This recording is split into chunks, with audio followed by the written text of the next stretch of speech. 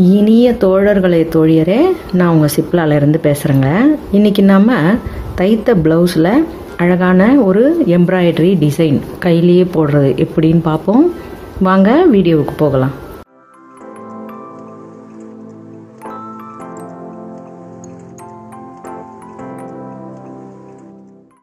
நம்ம இதுக்கு வந்து ஃப்ரேம்லாம் நீங்கள் வைக்க வேண்டாம். அப்படியே நம்ம கையிலேயே போடலாம். ஃப்ரேம் வச்சா இன்னும் கொஞ்சம் அந்த டைட்லாம் ரொம்ப நல்லாயிருக்கும். கையில் போடும்பொழுது உங்களுக்கு அந்த அளவுக்கு கிரிப்பு கிடைக்கலன்னா நீங்கள் ஃப்ரேம் செட் பண்ணிக்கலாம். இப்போ ரொம்ப சாதாரணமான ஒரு டிசைன் நம்ம நெக்கோட ரைட் போர்ஷனில் இருந்து இப்படி கொண்டு வந்து முடிக்கலாம். முதல்ல ஒரு வட்டம். அதுக்கேற்ற மாதிரி நீங்கள் இந்த மாதிரி பென்சில் யூஸ் பண்ணுங்கள் உங்களுக்கு என்ன கலரில் போட போகிறீங்களோ அதுக்கேற்ற மாதிரி நம்ம சாதாரணமாக குழந்தைங்க உபயோகப்படுத்துகிற பென்சில் கூட யூஸ் பண்ணலாம். இப்போ இந்த வட்டத்துக்கு நேராக ஒரு நாலு கோடு போட்டுக்கிறேன். இது வந்து உங்களுக்கு சம அளவில் இருக்கிற மாதிரி இருக்கும். இந்த சம அளவில் போட்டதை இன்னும் கொஞ்சம் எக்ஸ்டெண்ட் பண்ணி இப்படி போடுறேன்.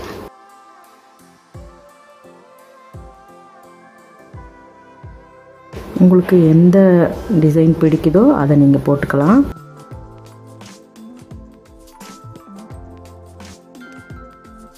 இப்போ இந்த லைன் எல்லாம் நம்ம செயின் ஸ்டிச் போட்டுக்கலாம். இதே தான் நம்ம தொடர்ந்து வரைய போகிறோம் இதை சம அளவில் அந்த முதல்ல நம்ம போடுற வட்டத்தில் இந்த சம அளவில் ஒரு நாலு பங்காக பிரிச்சுக்கோங்க. உங்களுக்கு இன்னும் கூட பெருசாக போடணும். இதே பெருசாக போடணும்னா நீங்கள் ஆறு பங்காக கூட பிரிச்சுக்கிட்டு போடலாம்.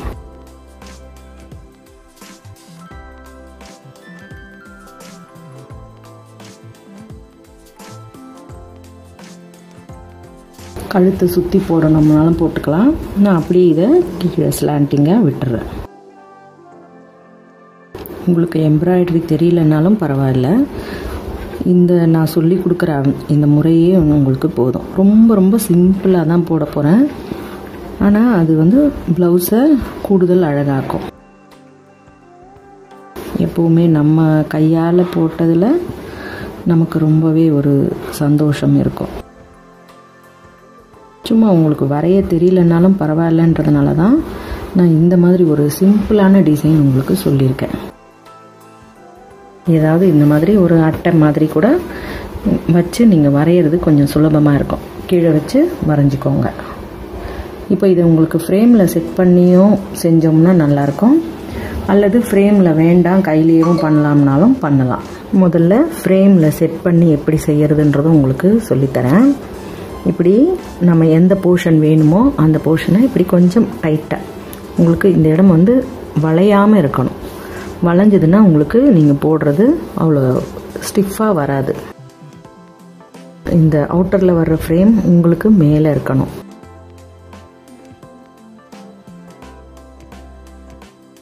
நல்லா இந்த மாதிரி ஸ்டிஃபாக இருக்கணும். அப்படி பண்ணிங்கன்னா இந்த சத்தம் வரணும். டுப்பு டுப்புன்னு ஒரு சத்தம் வந்ததுன்னா நல்ல ஸ்டிஃபாக இருக்குன்னு அர்த்தம். இப்போ உங்களுக்கு எந்த நிறம் தேவையோ அந்த நிறத்தில் நீங்கள் போட ஆரம்பிக்கலாம். இப்போ இந்த நடுவு பாகத்தில் இருந்து நான் எடுக்கிறேன் பாருங்கள் இந்த லென்த்து நம்ம இதனை ஃபஸ்ட்டு போட்டோம். இந்த கிராஸ் அதாவது டைமண்ட் மாதிரி இருக்கிற இந்த இடத்த ஃபஸ்ட்டு நம்ம ஃபில் பண்ண போகிறோம் இங்கேருந்து அப்படியே நேராக வாங்க. நீங்கள் எந்த இடத்துலேருந்து போடுறீங்களோ அந்த இடத்துலேருந்து நேராக வாங்க. உங்களுக்கு இந்த நூல் வந்து நல்லா ரெட்டப்பட்டையாகவே கோத்துக்கோங்க. கொஞ்சம் ஈஸியாக உங்களுக்கு வேலை முடிஞ்சிடும் இப்போ நீங்கள் குத்தின இடத்துல இருந்து அப்படியே பக்கத்தில் எடுங்க. நம்ம போட்ட கோடை அப்படியே இந்த நேர் பாதையிலேயே முடிக்க போகிறோம் அவ்வளவுதான்.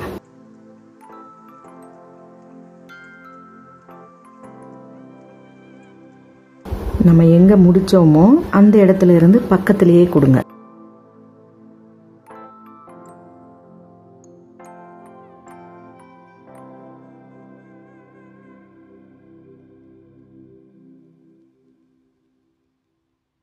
அவ்வளவுதான். இப்போ அதே மாதிரி இந்த பக்கம்.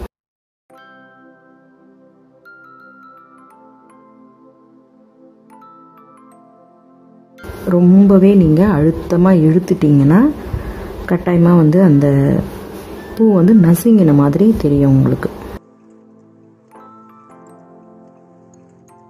இப்போ அப்படியே லேசாக லூஸ் ஆயிடுச்சு இப்போ அந்த மாதிரி இருக்கும்பொழுது நீங்கள் திரும்பவும் கொஞ்சம் அந்த இடத்தெல்லாம் அட்ஜஸ்ட் பண்ணி ரொம்பவே நீங்கள் வெறுமனே துணியை மட்டும் இழுத்தீங்கன்னா துணியெல்லாம் நஞ்ச மாதிரி ஆகிடும் அதனால் அது கொஞ்சம் ஜாக்கிரதையாக இழுத்து கொஞ்சம் லூஸ் பண்ணிவிட்டு இழுத்து திரும்பவும் டைட் பண்ணிக்கோங்க.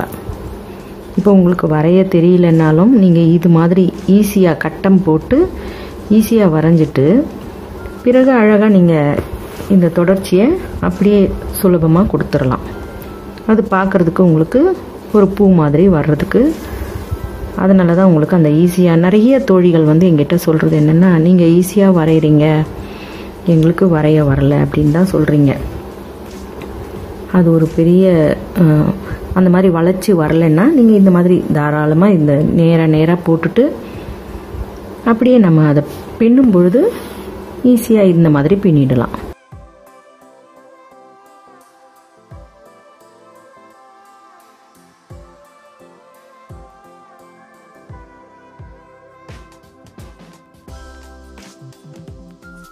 இந்த மாதிரி குத்தி குத்தி இழுக்கிறது ஒன்றும் உங்களுக்கு எம்ப்ராய்டரி கட்டாயம் தெரியணுன்ற அவசியமே இல்லை இல்லையா?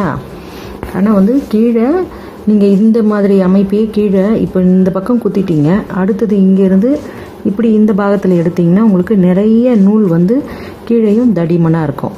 நீங்கள் எங்கே குத்துனீங்களோ அதே இடத்துலையே மேலே கொண்டு வாங்க. அது உங்களுக்கு நல்லா ஒரு பின்னாடி நூலும் அந்த மாதிரி கனமாக இல்லாமையும் இருக்கும். இல்லைன்னா மொத்தமாக நூல் வந்து மேலேயும் டிசைனுக்காக நூல் சேர்ந்துருக்கும் கீழேயும் அதே மாதிரியே வந்துடும் அதனால் நீங்கள் எந்த இடத்துல கொடுக்குறீங்களோ அந்த இடத்துலேருந்து அப்படியே தொடர்ச்சி மட்டும் பக்கத்துலேயே எடுத்துக்கோங்க.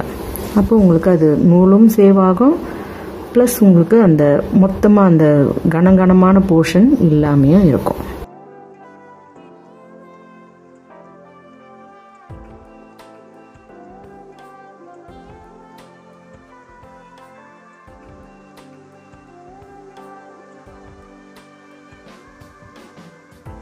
ஓகேவா? இது நம்ம இப்போ முடிச்சாச்சு. முடித்த பிறகு லேசாக நீங்கள் இந்த நடுவில் இருக்கிற ஒரு த்ரெட்டில் எடுத்து லைட்டாக ஒரே ஒரு முடிச்சு போடுங்க. ஏன்னா ரொம்பவே கனம் அதிகமாகிடும் அந்த முடிச்சை போட்டுட்டு ரொம்ப இழுக்க வேண்டாம். நீங்கள் ரொம்ப அந்த துண்டை அந்த நுனியில் கட் பண்ணாமல் கொஞ்சம் கேப் விட்டு கட் பண்ணுங்கள் அப்போ அது பிரிஞ்சு வரவே வராது.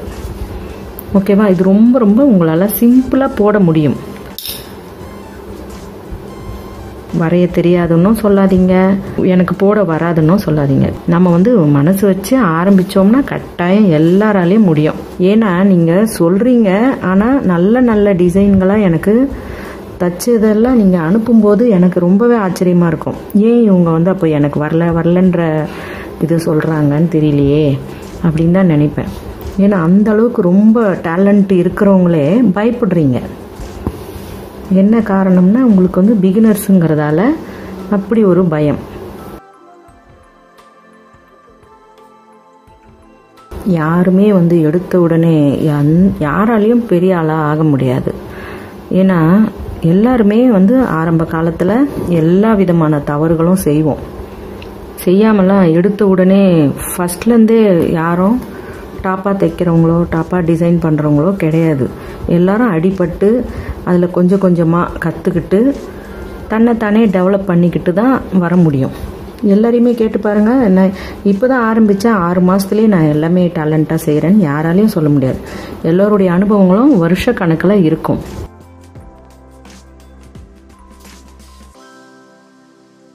முதல்ல சென்டர் எடுத்துக்கலாம்.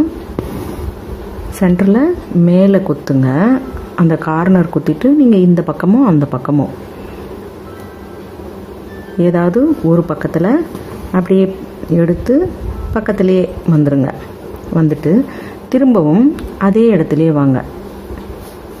அதே இடத்துல அந்த சென்டர் பாயிண்ட்லேயே திரும்பவும் வாங்க. வந்துட்டிங்களா? இப்போது அந்த பக்கம் முடிச்சிட்டோம். இந்த பக்கம் பக்கத்தில் தொடங்குங்க.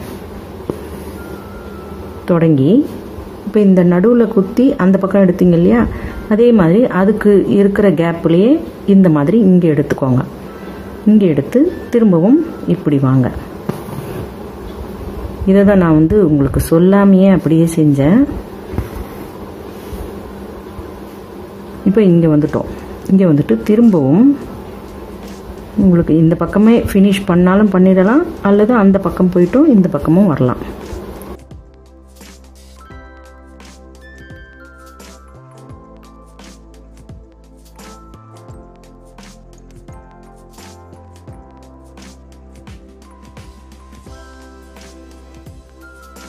இப்போ இந்த பக்கம் நம்ம கொஞ்சம் கேப் விட்டுருக்கோம் இல்லையா? அந்த கேப்பை அப்படியே இதில் ஃபில் பண்ணிடலாம். இப்போ இந்த நடுவில் இருக்கிற அந்த வட்டம் இந்த வட்டத்தை நம்ம வேறு கலர் கொடுத்தோம் ஃபில் பண்ணலாம். அல்லது உங்களுக்கு அது ரொம்ப இந்த நிறம் அப்படியே ப்ளவுஸோட நிறம் தெரியுது அப்படியே விடணும்னாலும் விட்டுருங்க. நான் அதில் உங்களுக்கு வேறு ஒரு கலரை போட்டு காண்பிக்கிறேன்.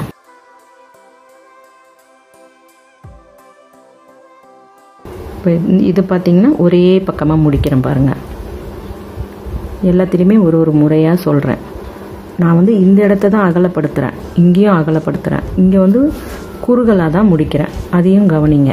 மேலே நம்ம பெருசு பெருசாக போட்டுக்கிட்டே போகிறோம் இப்போ இங்கே போடுறோம் இல்லையா? இங்கே போட்டு பக்கத்தில் குத்தி எடுக்கிறோம். இப்போ உங்களுக்கு வந்து அந்த இடமே வந்து அப்படியே விரிவாக வருது பாருங்கள் இதில் ஒன்றுமே எம்ப்ராய்டரியே கிடையாது இது. சும்மா வந்து நம்ம நூலை இப்படி அப்படிமா அந்த க சரியான விதத்தில் கோர்க்குறோம். அவ்வளோதான் நடுவில் நம்ம ஒரு செயின் ஸ்டிச் போடுவோம் இல்லையா? அதுதான் வந்து எம்ப்ராய்டரி இது வந்து உங்களுக்கு ரொம்ப சிம்பிள் எம்ப்ராய்டரி தான். இதில் உங்களுக்கு ரொம்ப கடினமாக கற்றுக்கக்கூடிய ஒரு விஷயமே கிடையாது. பொதுவாக நான் சொல்லித்தரது எல்லாமே வந்து எல்லாராலையும் சுலபமாக செய்யக்கூடிய ஒரு விஷயத்தை தான் சொல்லுவேன். ரொம்பவே வராது. ரொம்ப கஷ்டமான விஷயத்தெல்லாம் சொல்கிறது இல்லை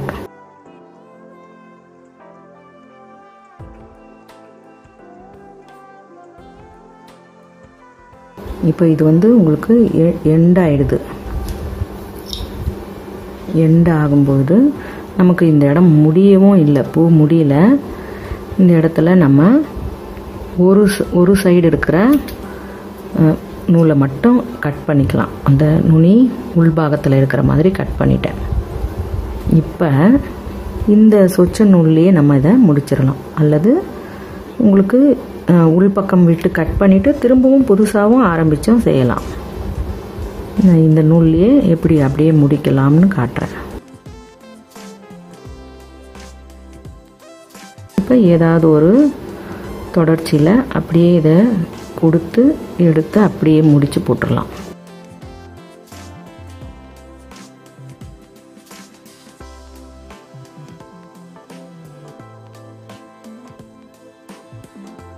இப்போ இதில் நம்ம நடுவில் கொடுக்கறதுக்கு வேறு ஒரு நிறத்தை எடுத்துக்கலாம்.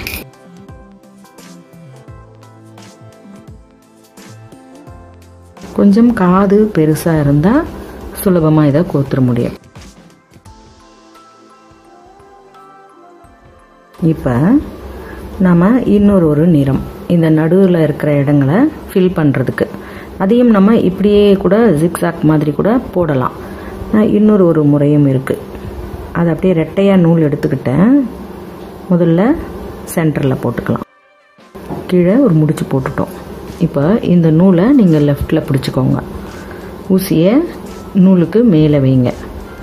ரெண்டு தடவை சுற்றுங்க சுற்றிட்டு நூலை விட்டுருங்க. நம்ம எங்கே ஸ்டார்ட் பண்ணினோமோ அதே இடத்துலையே அப்படியே ஊசியை குத்துங்க. இப்போ அந்த நம்ம சுற்றின அந்த ரவுண்டு அப்படியே லாக் ஆகிடும் ஓகேவா இவ்வளவு தான் இப்போ இது லாக் ஆகிடுச்சு நம்ம இதை நம்ம முடிச்சு போட்டு விட்டுறலாம். நுனியில் மட்டும் நூலை கட் பண்ண வேண்டாம். கட்டாயமாக வந்து அது வெளியே வந்துருச்சுன்னா உங்களுக்கு சிரமமாயிடும். கொஞ்சம் நல்லாவே நூலை விட்டுட்டு கட் பண்ணுங்க. இன்னொரு முறை அதை சொல்கிறேன் பாருங்கள் இதை சிங்கிளாக கூட நம்ம போட்டு செய்யலாம்.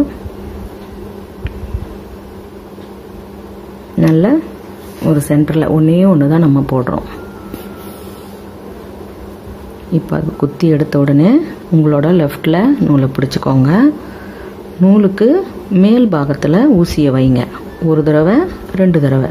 சுற்றியாச்சா இப்போ நம்ம நூலை இந்த சுற்றின உடனே நூலை விட்டுருங்க. நூலை அதாவது இழுத்த மாதிரி உங்கள் பக்கமாக இழுத்த மாதிரி வச்சுக்கோங்க.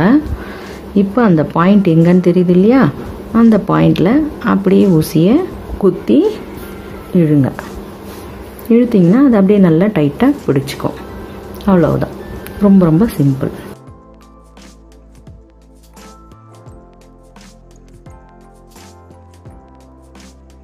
இப்போ இதையே நம்ம ஃப்ரேம் இல்லாமையும் எப்படி செய்யறதுன்னு சொல்லித்தரேன். ஏன்னா எல்லோருமே வந்து ஃப்ரேம் வச்சுருப்பாங்களான்னு தெரியாது. ஆனால் ரொம்ப எளிதாக கிடைக்கக்கூடிய பொருள் தான் நீங்கள் இந்த மாதிரி சின்ன சின்ன ஒர்க்குக்குன்னா இந்த சின்ன ஃப்ரேம் கூட உங்களுக்கு போதும். முதல்ல உங்களுக்கு ஆர்வம் இருந்து நீங்கள் ஆரம்பிச்சிட்டிங்கன்னா கட்டாயமாக உங்களுக்கு எல்லாமே சுலபமாக செய்ய முடியும். இது ஒன்றுமே வந்து துவக்கம் வேணும் இல்லையா?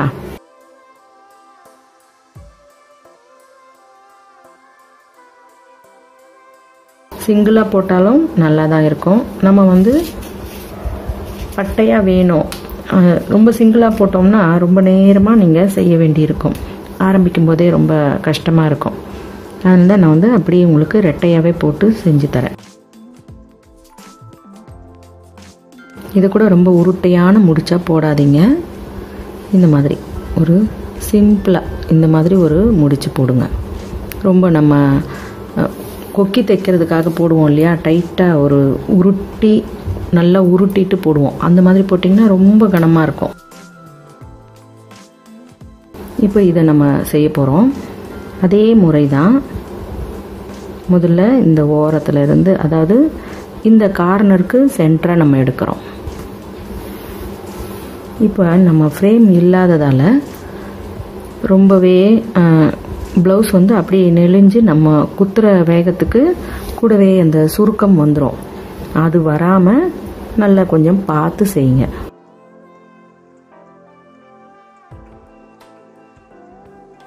நல்ல ஒரு லூஸ் இருக்கட்டும். நூலை வேகமாக இழுத்து டைட் கொடுத்துடாதீங்க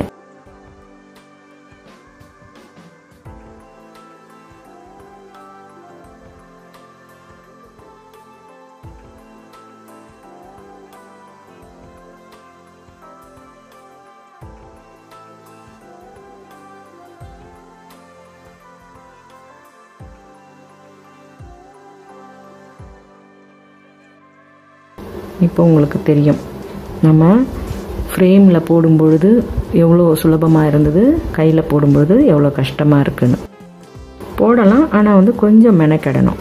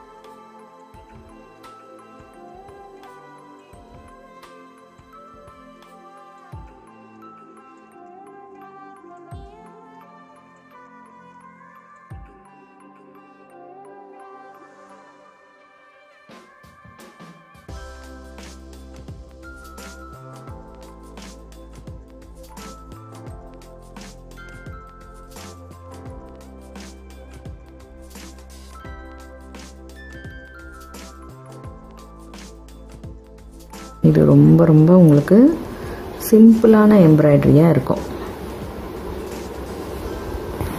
இப்போ நடுவில் நம்ம இந்த செயின் ஸ்டிச் உங்களுக்கு ஏற்கனவே சொல்லி கொடுத்துருக்கேன். இருந்தாலும் இதில் இதோட தொடர்ச்சியை அதையும் சொல்கிறேன் செயின் ஸ்டிச்சுக்கு சிங்கிளாகவே நூல் வந்து ஒரு ரெண்டு பக்கமும் சேர்த்து முடிச்சு போடாதீங்க. ஒரே பக்கமே போதும். இப்போ சங்கிலி தையல் எப்படி போடுறதுன்னு பார்ப்போம் ரெண்டு பூவுக்கும் கனெக்ஷன் இருக்கிற மாதிரி. இப்போ இந்த நூலை நம்ம ஒத்தையாக தான் எடுத்திருக்கோம். இதெல்லாம் வந்து ரெட்டையாக போட்டோம் இல்லையா? இப்போ ஒத்தையாக எடுத்திருக்கோம். கீழே சிங்கிள் முடிச்சு தான் போட்டிருக்கோம். இப்போ நம்ம குத்தி எடுத்த இடத்துல இருந்து அப்படியே இப்படி போடுறோம். இந்த நூலை நம்ம முதல்ல ஆரம்பித்த அந்த நூலை இப்படி போடுறோம். அதை ஊசியை சுற்றுறோம் சுற்றி இதை அப்படியே பொறுமையாக எடுக்கிறோம். இப்போ இப்படி வந்துருச்சு இல்லைங்களா? இந்த வளையத்துக்குள்ளே நம்ம இந்த நூல் இங்கே தொடர்ச்சியாக வந்துருக்கு இல்லையா? இந்த வந்த இடத்துலையே திரும்பவும் ஒரு முறை அப்படியே குத்தி இது எந்த லென்த்தில் போட்டிங்களோ அந்த லென்த்துலேயே அதையும் அப்படியே போட்டு திரும்பவும் நம்ம நூலை சுற்றுறோம் ஊசியை சுற்றி சுற்றி தான் எடுக்கிறோம். திரும்பவும் அதே மாதிரி தான். அதே இடத்துலையே குத்தி எடுக்கிறோம். திரும்பவும் இதை சுற்றுறோம் இப்படியே தொடர்ச்சியாக போட்டோம்னா அதுதான் வந்து சங்கிலி தையல். பார்த்திங்கன்னா உங்களுக்கு தெரியும். அழகாக நீட்டாக இருக்குது பாருங்கள் ஒரு ஒரு முறையுமே அதே இடத்துலையே இப்படி குத்தி எடுத்துட்டு பக்கத்தில் நம்ம எவ்வளோ லென்த்துக்கு வேணுமோ அதை ஊசியில் அந்த இடத்துல தாண்டிட்டு அப்படியே இந்த நூலை அதை சுற்றி எடுக்கணும். இது ரொம்ப ரொம்ப ஈஸியாக போட்டுடலாம். இந்த லென்த்தை மட்டும் கொஞ்சம் கரெக்டாக பார்த்துக்கோங்க. ரொம்பவும் டைட்டாக இழுக்காதீங்க. ரொம்பவும் லூஸாகவும் போடாதீங்க. அப்போ தான் வந்து அது ரொம்பவே அழகாக உங்களுக்கு நீட்டாக கிடைக்கும்.